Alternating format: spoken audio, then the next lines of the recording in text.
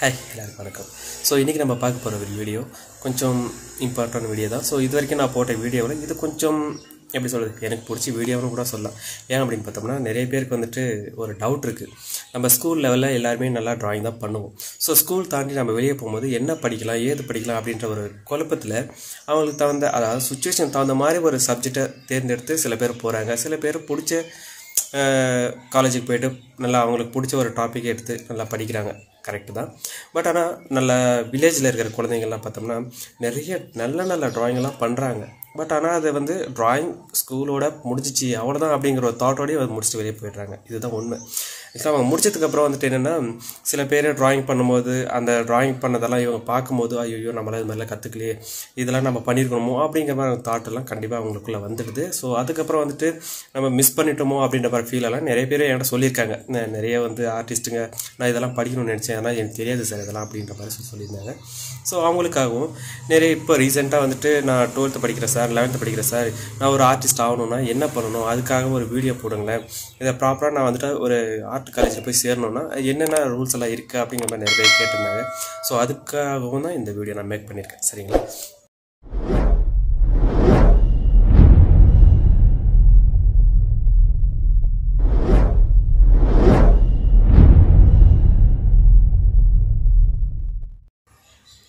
நம்ம சேனலில் நிறைய கமெண்ட்ஸ் நல்லா பாசிட்டிவாக தான் வரும். அதில் ஒரு சில கமெண்ட்ஸ் கொஞ்சம் நெகட்டிவாக வரும். நெகட்டிவானா ரொம்ப இதெல்லாம் வராது. அதில் ஒரு ப்ரோ சொல்லியிருந்தாப்புல இப்போ லாஸ்ட்டாக ஒரு கமெண்ட்ஸில் அது தப்பு கிடையாது. பட் இருந்தாலும் நான் என்னுடைய ஒப்பீனியன் சொல்லிடுறேன். ஆக்சுவலாக வந்துட்டு உங்களுடைய வீடியோ லென்த் பண்ணுறதுக்காக அதிகமாக பேசிட்டே இருக்கீங்க சார் நீங்கள் அப்படிங்கிற மாதிரி சொல்லி சொல்லியிருந்தாப்புல. ஆக்சுவலாக உண்மை என்ன அப்படின்னு பார்த்தோம்னா நம்ம டிக்டாக் வீடியோ போடல. இதுதான் உண்மை. ஸோ சாரி இருந்தாலும் நான் சொல்லிக்கிறேன். இது நம்ம டிக்டாக் வீடியோனா தேர்ட்டி செகண்டில் முடிச்சுட்டு போயிடலாம். பட் இது எஜுகேஷனல் அப்படிங்கிற மாதிரி போயிட்டு இருந்தனால நம்ம ஒரு டேலண்ட்டை கண்டிப்பாக ஃபுல்லாக கொண்டு போய் அவங்க சேர்க்கணும் அப்படிங்கிறது தான். என்னால் முடிஞ்ச வரைக்கும் டம் கட்டி பேசி அவனுக்கு எக்ஸ்பிளைன் பண்ணி அவனுக்கு புரிய வைக்கணும் அப்படிங்கிறதுனால தான் அந்த டைம் நான் அப்படியே கொஞ்சம் எக்ஸ்டர்னல் பண்ணிக்கிறேன். வேறு ஒன்றும் கிடையாது. அப்படி இருந்தாலுமே நான் எவ்வளோ நேரம் பேசினாலும் அதில் தேவையில்லாதெல்லாம் ட்ரிம் பண்ணி ட்ரிம் பண்ணி தான் நான் முடிஞ்ச வரைக்கும் கட் பண்ணி ஒரு டென் மினிட்ஸ்க்குள்ளே இந்த வீடியோவை நான் மேக் பண்ணணும் அப்படின்ட்டு போராடி பண்ணிக்கிட்டு இருக்கேன் இதுதான் உண்மை சரிங்களா? இல்லை அப்படின்னா நம்ம ஹாஃப் அன் ஹவர் வீடியோவும் மேக் பண்ண முடியும். இல்லை thirty second one hour sorry one minute இந்த மாதிரி வீடியோஸும் நம்மளால் மேக் பண்ண முடியும். என்னென்னா இதை பார்க்குறவங்க முழுசாக புரிஞ்சுக்கிட்டால் போதுமானது. ஒரு பத்து பேர் பார்க்குறாங்கன்னா அதில் எட்டு பேர் ஸ்கிப் பண்ணி தான் பார்ப்பாங்க எனக்கு நல்லா தெரியும். அதில் ரெண்டு பேர் மட்டும் நான் என்ன சொல்ல வரேன் முழுசாக அவர் என்ன சொல்ல வராங்க அப்படிங்கிறத உன்னிப்பாக கவனிச்சிட்டு அதுக்கப்புறம் அதை அப்சர்வ் பண்ணி ட்ராப் பண்ணுவாங்க. இதுதான் உண்மை. ஸோ இந்த ரெண்டு பேர் எனக்காக அந்த அப்சர்வ் பண்ணி பார்த்துட்டு அவங்க உண்மையாக கற்றுக்கிட்டாங்கன்னா அதே எனக்கு போதுமானது. சில மாதிரி பார்த்தோம்னா அஹ், சேலத்துலேருந்து ஒரு சிஸ்டர் வந்து சத்யா அப்படின்றவங்க. ஸோ அவங்களாம் பார்த்தோம்னா நீங்கள் போடுற வீடியோலாம் எனக்காக நல்லா எனக்காகவே போடுற மாதிரி இருக்குது நான் இது போல் வந்துட்டு நான் என்ன டவுட் நான் உங்ககிட்ட கேட்கணும்னு நினைக்கணும் அந்த டவுட்டெல்லாம் கிளியர் பண்ணுற மாதிரியான வீடியோ தான் உங்ககிட்ட இருந்து வருது. ரொம்ப தேங்க்ஸ்ண்ணா அப்படி சொல்லிட்டு இன்ஸ்டாகிராம்லையும் சரி கமெண்ட்ஸ்லையும் சரி அவங்க அதுதான் பண்ணிகிட்டு இருக்கேன். இது போல் நிறைய பேர் என்கிட்ட கமெண்ட்டில் சொல்லிட்டு இருக்காங்க. பட் இருந்தாலும் நம்ம வந்துட்டு அவங்களுக்கு ஃபுல்லாக கொண்டு போய் என்னத்தை செய்யணும்னு நினைக்கிறோமோ அதை கரெக்டாக அவங்ககிட்ட ரீச் பண்ண வச்சுட்டோம்னா நமக்கு அதில் போ அதை விட சந்தோஷம் வேறு என்ன இருக்குது இல்லையா? ஸோ வேறு ஒன்றும் இல்லை. ஸோ இதுவே ஓவராக பேசுகிற மாதிரி தான் இருக்கு இல்லையா? ஸோ நம்ம மேட்ரு போவோம்.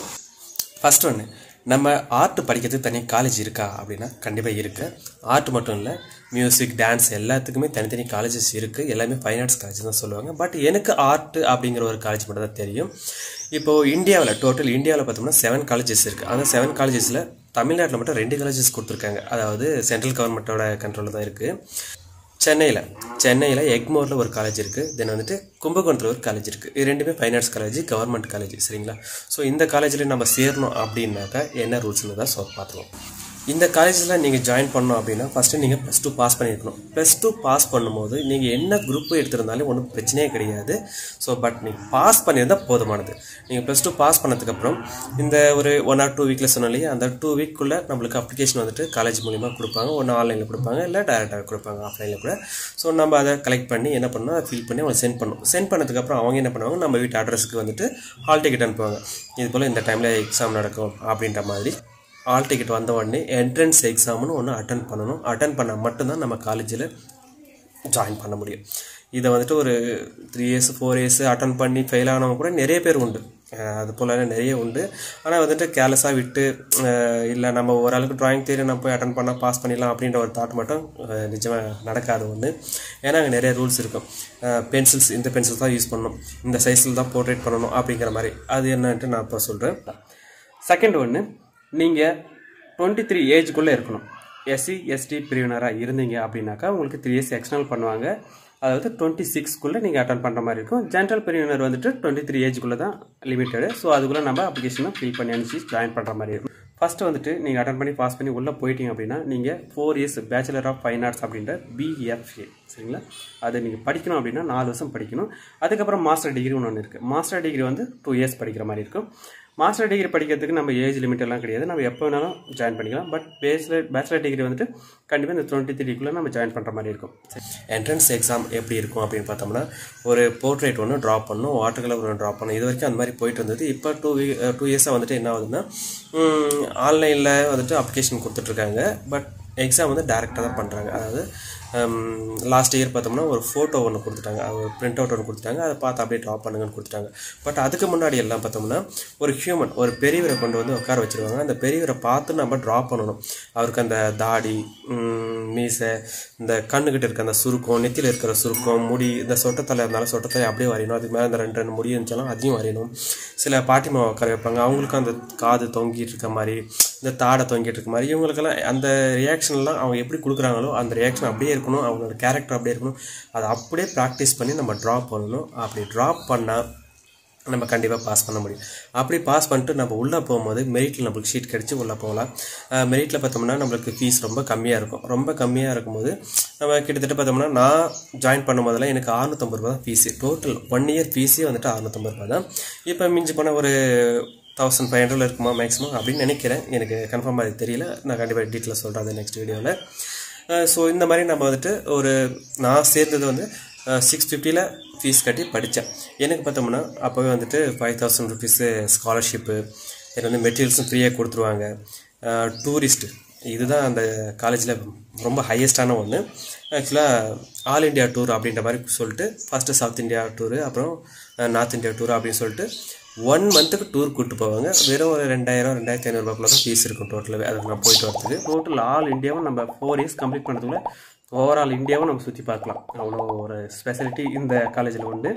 இதில் வந்து நிறைய வந்து ஆர்டிஸ்ட்டுங்கள்லாம் வந்துட்டு யார் யாரை பார்த்தோம்னா டேரக்டர் பா ரஞ்சித்னு ஒருத்தர் இருக்கார் இல்லையா?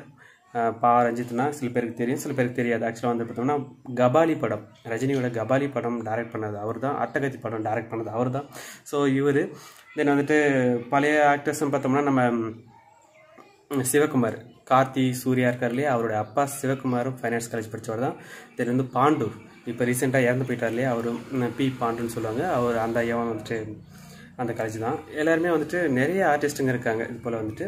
ஸோ இவங்கெல்லாம் அந்த காலேஜில் படித்தவங்க தான். நம்ம வில்லேஜ்லேருந்து போகிற ஸ்டூடெண்ட்ஸ் நிறைய பேர் இருக்காங்க. ஸோ அங்கே போயிட்டு உங்களுக்கு அஹ், தங்கறதுக்கு சாப்பாட்டுக்கு இதுக்கெல்லாம் வந்து நம்ம அங்கே அரேஞ்ச் பண்ணிக்கலாம். எங்கேயாச்சும் ஒரு பார்ட் டைம் கண்டிப்பாக கிடைக்கும் சென்னையில். ஸோ இதெல்லாம் நம்ம அரேஞ்ச் பண்ணிவிட்டு முடிஞ்ச வரைக்கும் அந்த காலேஜில் படித்து ஏதாச்சும் ஒரு ஜாபுக்கு கண்டிப்பாக போக முடியும். சரிங்களா? ஸோ இதை இந்த வீடியோ பற்றி முழு டீட்டெயில்ஸும் நான் நெக்ஸ்ட் வீடியோவில் கண்டிப்பாக போகிறேன் சரிங்களா? இது சும்மா ஷார்ட் வீடியோ உங்களுக்கு இன்ஃபர்மேஷன் கொடுக்கணும் அப்படிங்கிறது தான் மற்றபடி ஒன்றும் கிடையாது.